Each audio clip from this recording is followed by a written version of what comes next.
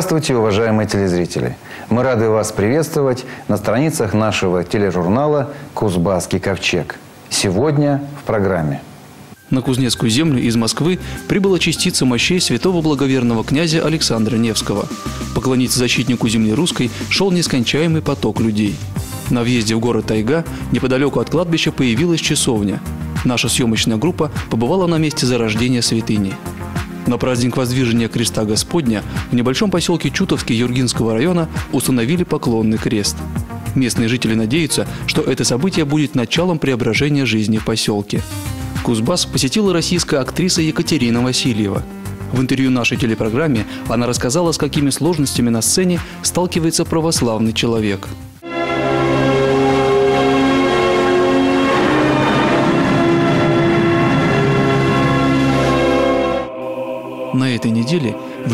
верующих кузбассовцев произошло знаменательное событие. 19 октября в Кемеровскую и Новокузнецкую епархию прибыл ковчег с частицей мощей святого благоверного князя Александра Невского. Святыня принесена из постоянного места своего пребывания – кафедрального соборного храма Христа Спасителя – из аэропорта Кемерово святые мощи перевезли в домовый храм Кемеровского епархиального управления, а к началу божественной литургии торжественно внесли в Знаменский кафедральный собор.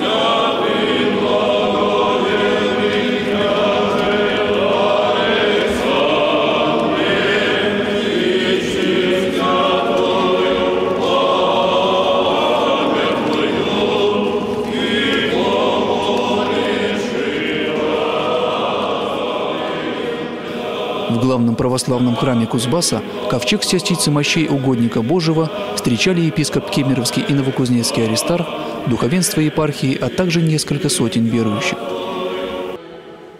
На молебне владыка и верующие обратились к святому князю с самыми насущными просьбами.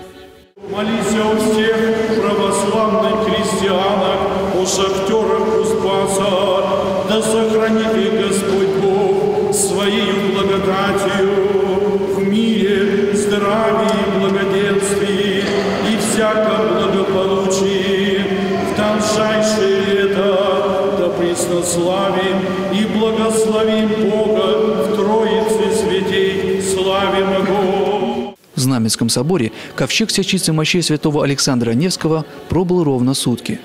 За это время святыни поклонились около 20 тысяч горожан – Среди них военнослужащие, сотрудники правоохранительных органов и учащиеся кадетских учебных заведений. У нас занятия происходят в корпусе по основам православия, на которых нам рассказывали о великом полководце Александре Невском, то, что он причислен к лику святых, какие его подвиги были совершены, то, что он считается святым для всех воинов. И для нас очень большое событие, что нас вывезли, специально привезли в собор на мощи святого это идеал для военного человека, потому что он был великий полководец, он был как силен как духом, так и телом по его наград, по его победам. Он был святой, большим примером для считается для всех воинов, особенно для кадетов, для молодых. Нам это очень даже интересно. Мы должны эти истории свои как о духовном, так и православном. Народ шел к святым мощам нескончаемым потоком. Кемеровчане не только сами поклонялись святыне – но также освещали на ней свечи, платочки, прикладывали фотографии своих родных и близких, всех тех, кто просил за них помолиться. Я приехала в Кемерово к своим родителям буквально вчера, и вот э, ну, очень надеялась, конечно, что мне удастся попасть сюда, в храм к мощам. Вот очень рада, что мне это удалось. Значение очень большое, но я могу сказать о самом Александре Невском. А, мое отношение к нему, как говорится, очень, как бы отношусь с большим пиететом, потому что мне кажется, что если бы не было святого князя Александра Невского, то не было бы и Руси. Я считаю, что каждый человек, не обязательно христианин, а образованный человек, любящий свою историю, должен сегодня быть в этом храме и поклониться мощам святого князя Александра. Стоит отметить, что Кузбасс не первый регион России и остального мира, где бывали честные мощи Александра Невского. Принесение святыни организуется программой Александра Невский, Фонда Андрея Первозванного и Центра национальной славы, реализуемой с декабря 2006 года.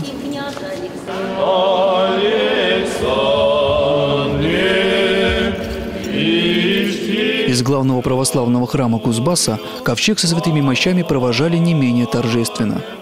После молебна святыню вынесли из собора и погрузили в специальный автомобиль который доставит честные мощи в храмы и монастыри Кемеровской епархии.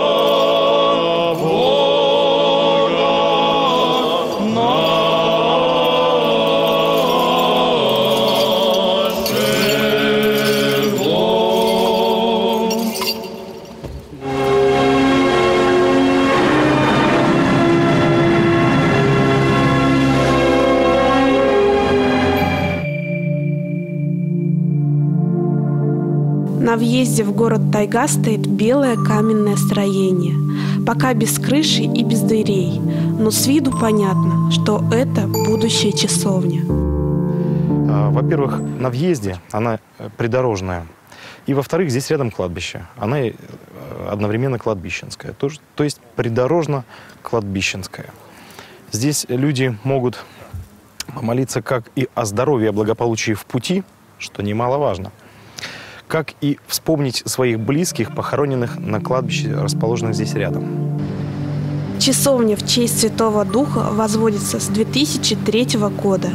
С инициативой ее строительства выступил иерей Алексий Воронюк, который когда-то служил в городе Тайга. Проект, по которому выполнена часовня, уникален для Кузбасса. Архитекторы из Томска сделали его в традициях псковского зодчества. То, что сделано это сооружение. Я долго собирался, нацеливался, не решался, но потом решился со своими друзьями и построили этот храм. Рисунки наверху очень интересные, на барабане. С первого раза они не получились, пришлось верхнюю часть ломать. Потом переделали, получилось более-менее хорошо, красиво. В Томске уже заказаны витражи, прям такой, ну, ну витражи, одним словом, там. Стекло, цветное, там, э, крестообразное это все будет. Вот такое, чтобы и когда солнце по- попадало в э, часовню, там уже были такие цвета играли. А все иконы, вот э, две фасадных, вот здесь будет э, Спаситель, э, над входом будет э, Богородица, они выполнены мозаично.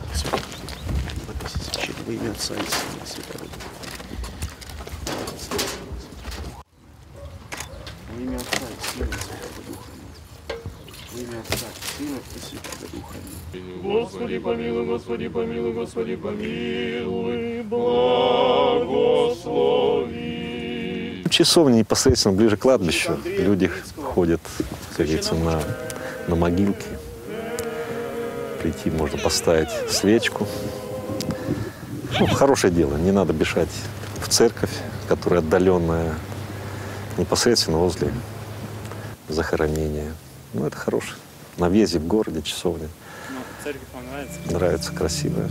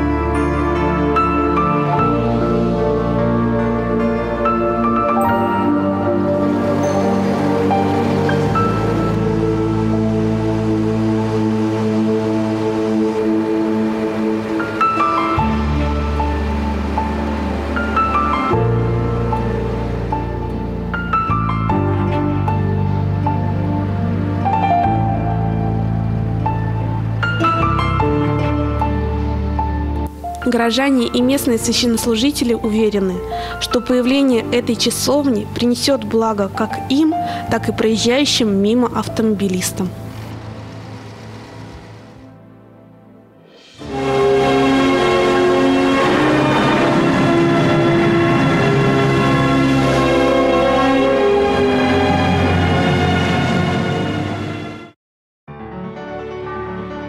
Недалеко от Юрги есть поселок Чутовский. Возник он в начале 20 века в результате столыпинских переселений. В советское время здесь был большой колхоз. На сегодняшний день здесь осталось всего шесть дворов. Многим его коренным жителям в конце 70-х годов пришлось переехать в близлежащие села Алабучинка, Заозерная, Проскоково. Такова была политика увеличивать одни поселки за счет других. Но не спешат люди навсегда покинуть свою Чутовку. Накануне праздника Воздвижения Креста Господня на въездной дороге в поселок Чутовский появился поклонный крест. Осветил его отец Антоний Зленко, священник храма Святой Живоначальной Троицы поселка Проскоково было очень приятно, такой приятной неожиданностью услышать такую просьбу, вот, потому что, конечно, не каждый день такие просьбы слышишь, вот осветите где-то поклонный крест. Но ощущения такие самые приятные, самые радостные. Вот, то есть почему-то такое чувство, вот чувство радости большое. А инициатором установки новой православной святыни стал местный житель. На Руси издревле было по этот, э, как принято ставить кресты поклонные. Или еще их иногда называют обетные вот кресты. Просто у меня была очень серьезная болезнь, но остался жив. Дал себе обед. Я его выполнил. Идея установки креста возникла у Александра Захарова несколько лет назад. А вот работы начались только в этом году. Помощники в таком деле нашлись сразу. Не имей 100 рублей, имей 100 друзей, говорят. Один помог, этот, помог с лесом, другой помог с трудом. Ну, а собирал уже сам, конечно. Друзья, конечно, помогают. Но так старался своими руками все делать. Потому что если уж сам дал обед, то надо его выполнять помогали все вот наши знакомые, да, и незнакомые как-то э, подхватывали эту идею и вот предлагали свою помощь с деревом и с трактором, в общем, народ молодцы, Алабучинские, Зерги приезжали. Вот это как бы меня даже удивляло несколько, потому что как бы просишь там картошку помочь, так не приезжают, а на крест приезжали все. Маленькие пихты вокруг креста супруги Захаровы сажали вместе. На следующий год благоустройство территории продолжится, и поляну украсят сотни садовых цветов. Ну, на следующий год пойдет травочка, будем косить, будем сажать цветы. Думаю, что здесь будет место, которое все захотят посетить. В России возрождается традиция возле дорог недалеко от въезда в города и села воздвигать поклонные кресты. Они служат верующим местом для молитвы, напоминанием о необходимости покаяния, нравственного очищения и жизни по законам добра и любви к ближним. Мы когда узнали вот о том, что вот здесь будет установлен крест, и нам это понравилось, и мы благодарны Саше, вот что вот он такой сотворил чудо. Вот, и будут люди приезжать, и мы также знаем, что вот здесь святое место, чем можно поклониться, прежде чем заехать в эту деревню. Сегодняшнее событие, вот, освящение поклонного креста, оно, оно показывает нам то, что в народе, в народе жива вера в Бога, вера в добро, в нравственность, в чистоту. Вот, и это очень радует и утешает. Вот, и я считаю, что когда у нас с вами при въезде в каждый населенный пункт будет стоять поклонный крест, то и жизнь в народе, в нашей стране начнет преображаться. Местные жители надеются, что с появлением новой православной святыни начнется и возрождение исчезающего поселка.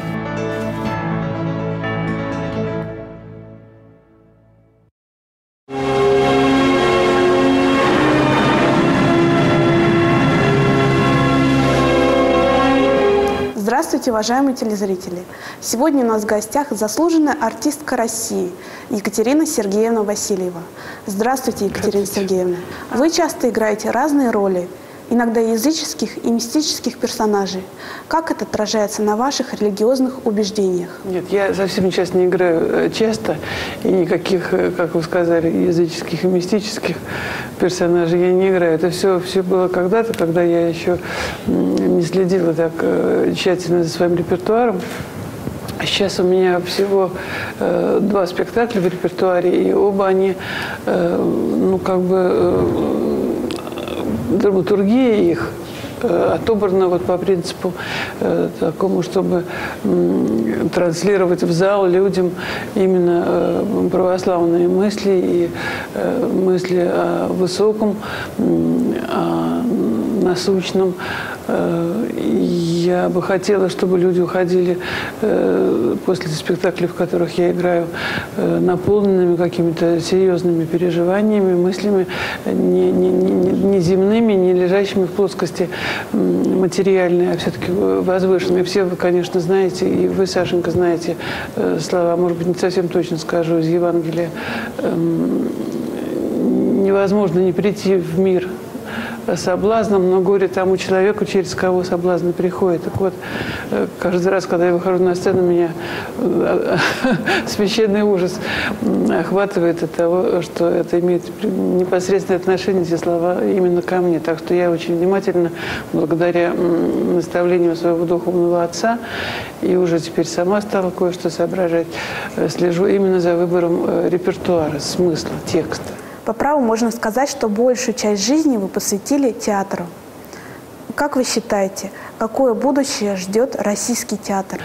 Конечно, я э, согласна с отцом праведным Иоанном Кронштадтским, что у, театра, да, у Бога есть слуги, священники, а у дьявола слуги актеры. Вот буквально так. У него э, совершенно непримиримое отношение к театру. Э, и если эм, вдуматься, то прав, конечно, он. То есть если быть до конца, идти до конца, то, конечно, театр это перевертыш. Конечно, даже по устройству театра, вот занавес, да, там актеры, здесь как бы вот эта часть, э, алтарь. То есть это как бы вот получается, что это храм сатаны. Вот мне страшно говорить эти, эти слова, но это так. Если я вижу какое-то будущее, то это вот э, ну, какое-то вот прямое обращение почти с, с, не, не со своими текстами или, или наполненными только текстом так, таким церковного содержания, очень высоконравственного. Это почти, почти монологи такие актеры, что ли, э, с залом. Ну, в общем, это скорее больше похоже на проповедь, чем на игру. Екатерина Сергеевна, скажите, пожалуйста, что бы вы хотели пожелать кузбасскому телезрителю? Я хочу пожелать всем, в том числе э, жителям Кузбасса, только одного – веры в Бога. Сейчас такое время удивительное, потому что после стольких лет гонений э, и лжи, э, и нападок на церковь, вот Господь так вот прямо вот так сказал, ну, ну, вот я, идите ко мне все, все идите ко мне, все храмы открыты, священники ходят по улицам, все говорят, какие дети, да какие ужасы, да всякие кошмары нам показывают, а виноваты это родители, вот этот возраст, вот это поколение, вам, вам, родителям, вы будете отвечать за детей, потом не плачьте, если у вас есть, э, у вас есть, э, все вам дано, ну что же вы, э, вы не медлите, а то ведь все что угодно, у нас страна непредсказуемая может произойти. Вот. И э, поезд этот, есть такое выражение, да, поезд ушел, поезд уйдет, и вы прыгаете хотя бы в последний вагон. Я, простите, что, может быть, немножко так э, строго говорю, но я, у меня сердце болит. Сердце болит, душа болит за тех людей, которые не в церкви. Все, кто еще не в церкви, бегите в церковь. Вот чего я вам желаю. Спасибо, Екатерина Сергеевна. Уважаемые телезрители, напоминаем вам, что у нас в гостях была заслуженная артистка России Екатерина Васильева. До новых встреч!